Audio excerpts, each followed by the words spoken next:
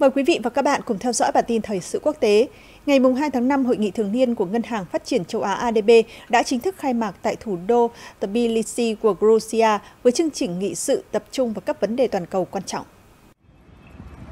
Hội nghị thường niên ADB năm nay diễn ra từ ngày 2 đến ngày 5 tháng 5 với sự tham gia của lãnh đạo nhiều doanh nghiệp lớn, các nhà kinh tế học và lãnh đạo tài chính trên toàn thế giới. Thông báo của ADB cho biết, hội nghị năm nay sẽ tập trung thảo luận về những vấn đề quan trọng ảnh hưởng tới nền kinh tế thế giới như biến đổi khí hậu, trí tuệ nhân tạo AI và toàn cầu hóa thân thiện với môi trường. Bên cạnh đó, các đại biểu cũng sẽ thảo luận những vấn đề liên quan tới sự phát triển của khu vực châu Á Thái Bình Dương.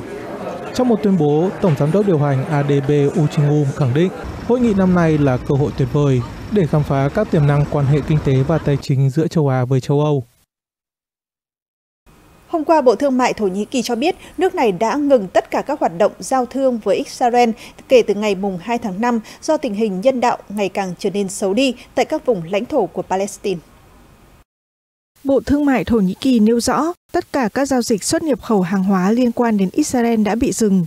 Thổ Nhĩ Kỳ sẽ thực hiện nghiêm túc và dứt khoát biện pháp mới này cho đến khi chính phủ Israel tạo điều kiện thuận lợi cho việc vận chuyển nguồn viện trợ nhân đạo đầy đủ và không bị gián đoạn tới giải Gaza. Phản ứng trước quyết định mới nhất của Thổ Nhĩ Kỳ, Ngoại trưởng Israel, ông Israel Katz cùng ngày cho rằng Ankara đã vi phạm các thỏa thuận và phớt lờ các hiệp định thương mại quốc tế. Bộ Ngoại giao Israel đang nỗ lực tìm kiếm giải pháp thay thế, cũng như chú trọng hoạt động sản xuất trong nước và tìm nguồn hàng nhập khẩu từ các nước khác. Theo dữ liệu chính thức, trao đổi thương mại giữa Israel và Thổ Nhĩ Kỳ đã ghi nhận mức 6,8 tỷ đô la Mỹ trong năm 2023. Tháng trước, Thổ Nhĩ Kỳ thông báo đã áp đặt các hạn chế xuất khẩu các mặt hàng từ 54 danh mục sản phẩm khác nhau sang Israel cho đến khi đạt được lệnh ngừng bắn tại giải Gaza. Công cuộc tái thiết giải Gaza sẽ tiêu tốn khoảng 30 đến 40 tỷ đô la Mỹ và đòi hỏi nỗ lực ở quy mô lớn chưa từng thấy kể từ chiến tranh thế giới thứ hai.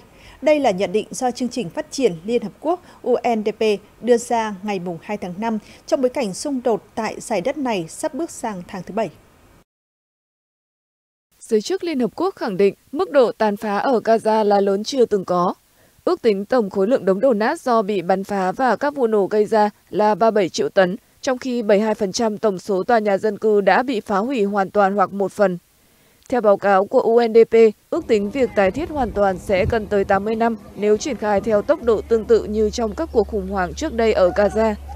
Ngay cả trong trường hợp đẩy nhanh gấp 5 lần cũng sẽ cần tới 16 năm, song người dân Palestine không thể chờ đợi lâu đến vậy. Do đó, giới chức Liên Hợp Quốc cho rằng cộng đồng quốc tế cần hành động nhanh chóng, coi đây là ưu tiên hàng đầu và việc tái thiết cơ bản cần phải đạt được trong vòng 3 năm đầu tiên sau khi chấm dứt chiến sự. Việc tái thiết Gaza cũng phải được lên kế hoạch cẩn thận, hiệu quả và linh hoạt vì chưa rõ thời điểm xung đột kết thúc hay tình hình thời kỳ hậu chiến. Theo cơ quan khí tượng Nhật Bản, nước này đã ghi nhận nhiệt độ trung bình trong tháng 4 vừa qua ở mức cao nhất trong gần 130 năm do ảnh hưởng kéo dài của hiện tượng El Nino.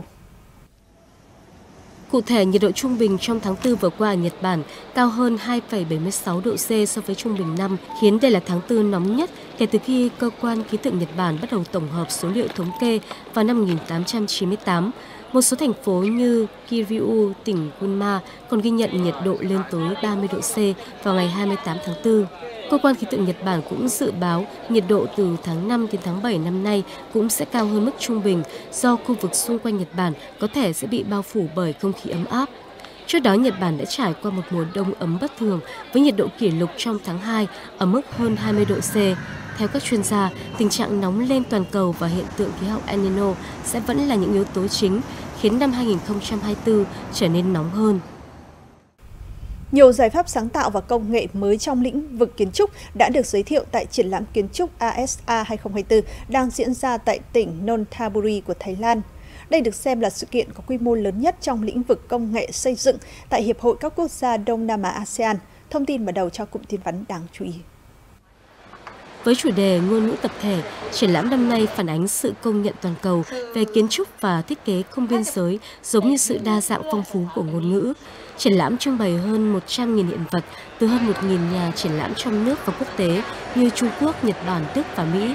Đáng chú ý, tại triển lãm, nhiều doanh nghiệp đã giới thiệu các giải pháp kiến trúc hướng tới tương lai và giải quyết những vấn đề của xã hội hiện đại như biến đổi khí hậu, tiết kiệm năng lượng, ô nhiễm không khí hay già hóa dân số. Diễn ra từ ngày 30 tháng 4 đến ngày 5 tháng 5, các nhà tổ chức kỳ vọng triển lãm sẽ thu hút hơn 325.000 khách tham quan. Hôm qua, tập đoàn Microsoft của Mỹ và công ty quản lý quỹ Brookfield của Canada thông báo đã đạt thỏa thuận phát triển năng lượng tái tạo. Thỏa thuận này có thể trở thành một trong những thương vụ năng lượng xanh lớn nhất từ trước đến nay. Theo Microsoft, việc hợp tác với Brookfield thúc đẩy sự phát triển, đổi mới các lưới điện đa dạng hơn trên toàn cầu và góp phần thực hiện mục tiêu của tập đoàn nhằm đạt được 100% mức tiêu thụ điện phù hợp với việc không mua năng lượng carbon vào năm 2030. Thương vụ trên cho thấy xu hướng các tập đoàn lớn trên thế giới đầu tư mạnh mẽ hơn vào năng lượng sạch để đáp ứng các mục tiêu về khí hậu, đồng thời duy trì tính cạnh tranh trong cuộc đua triển khai trí tuệ nhân tạo AI. Hôm qua, nền tảng mạng xã hội TikTok và công ty âm nhạc lớn nhất thế giới Universal Music Group cho biết đã đạt được thỏa thuận cấp phép mới nhằm khôi phục các bài hát và đưa danh sách nghệ sĩ của hãng này trở lại TikTok Thỏa thuận mới được mô tả là đa chiều do đề cập đến nhiều khía cạnh khác nhau như cấp phép âm nhạc, bảo vệ nghệ sĩ và người dùng, giải quyết những lo ngại về trí tuệ nhân tạo AI. Cụ thể, TikTok cam kết hợp tác nhằm xóa bỏ nhạc do AI tạo trái phép khỏi nền tảng và phát triển AI một cách có trách nhiệm hơn. Ngoài ra, hai bên sẽ hợp tác trong các chiến dịch quảng bá nghệ sĩ của Universal Music Group trên toàn cầu, thúc đẩy khả năng thương mại điện tử đang phát triển của TikTok. Trong thời đại số hiện nay, mật khẩu được coi là cánh cửa bảo vệ an toàn cho người dùng Internet. Thế nhưng trong khi hầu hết mọi người đều có ý thức bảo mật với các tài khoản mạng xã hội, tài khoản ngân hàng, thì vẫn có không ít người bỏ qua bảo mật cho các thiết bị kết nối Internet trong gia đình. Một mật khẩu mạnh có thể bảo vệ bạn cũng là lời nhắc nhở tới người dùng Internet nhân ngày mật khẩu thế giới. Bếp điện điều khiển bằng giọng nói đèn thông minh tùy chỉnh độ sáng. Các thiết bị dân dụng thông minh đang ngày càng trở nên phổ biến. Thế hệ trẻ hiện nay lớn lên cùng với các thiết bị như điện thoại thông minh với Internet. Họ rất quen thuộc với những công nghệ và có nhu cầu sử dụng các thiết bị công nghệ để phục vụ cuộc sống. Các chuyên gia dự đoán tới năm 2023 sẽ có khoảng 50 tỷ thiết bị trong gia đình kết nối toàn cầu. Tuy nhiên, điều các chuyên gia an ninh mạng lo ngại là vấn đề bảo mật của các thiết bị này chưa theo kịp với sự phát triển của thị trường. Các thiết bị kết nối Internet thông minh trong gia đình nhắm tới các mục tiêu là chi phí rẻ, thân thiện với người sử dụng. Không may là an ninh mạng lại là một điểm yếu của các thiết bị này. Tội phạm công nghệ có thể tấn công chúng, đánh cắp mật khẩu để chiếm quyền điều khiển và lấy được thông tin cá nhân của người dùng. Một mật khẩu yếu, dễ đoán hoặc dùng một mật khẩu cho nhiều thiết bị khác nhau là cách dễ dàng nhất để những kẻ tội phạm tấn công các thiết bị thông minh trong gia đình bạn. TV, loa, đài, chuông cửa hay camera giám sát. Giờ đây, những thiết bị thông thường này đã được kết nối Internet. Không thể phủ nhận về tính tiện dụng của chúng, nhưng mặt trái là người sử dụng chúng có thể bị lấy hết thông tin. Vì vậy, các chuyên gia khuyến nghị một mật khẩu khó bị đánh cắp là sử dụng một chuỗi ba từ ngẫu nhiên hoặc thêm vào các ký tự và số đặc biệt. Người dùng cũng nên sử dụng xác thực hai yếu tố và dùng mật khẩu riêng biệt cho mỗi tài khoản cá nhân, thiết bị thông minh, thay vì dùng cùng một mật khẩu cho nhiều nền tảng.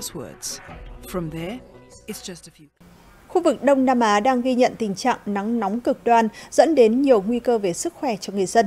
Tại Philippines hôm nay, chính quyền thành phố Valenzuela ở thủ đô Manila đã triển khai hai nhà tắm di động, nơi người dân được đắm mình thỏa thích trong làn nước mát để hạ nhiệt trong mùa hè. Theo đó, người dân thành phố sẽ được sử dụng hai nhà tắm lưu động này miễn phí, nhất là những người đang sống trong cảnh thiếu điện và nước. Chúng tôi triển khai chương trình này để giúp người dân chống chọi với cái nắng trong mùa khô. Nhiều người còn không thể tắm rửa do tình trạng thiếu nước. Do đó, hai nhà tắm lưu động miễn phí này sẽ phần nào hỗ trợ cho họ. Cơ quan dự báo thời tiết Philippines cho biết chỉ số nhiệt, nhiệt độ thực tế mà cơ thể con người cảm nhận được, bao gồm cả độ ẩm tương đối, dự kiến sẽ vẫn duy trì ở mức kỷ lục 45 độ C trong cả tuần. Hiện Philippines cùng nhiều nước trong khu vực Đông Nam Á đang chật vật đối phó với nắng nóng kỷ lục. Chính phủ các nước đã tạm đóng cửa các trường học, khuyến cáo người dân không ra đường để tránh nguy cơ sốc nhiệt. Những thông tin vừa rồi cũng đã khép lại bản tin Thế giới 24 giờ. Xin trân trọng cảm ơn sự quan tâm theo dõi của quý vị và các bạn. Xin kính chào tạm biệt và hẹn gặp lại.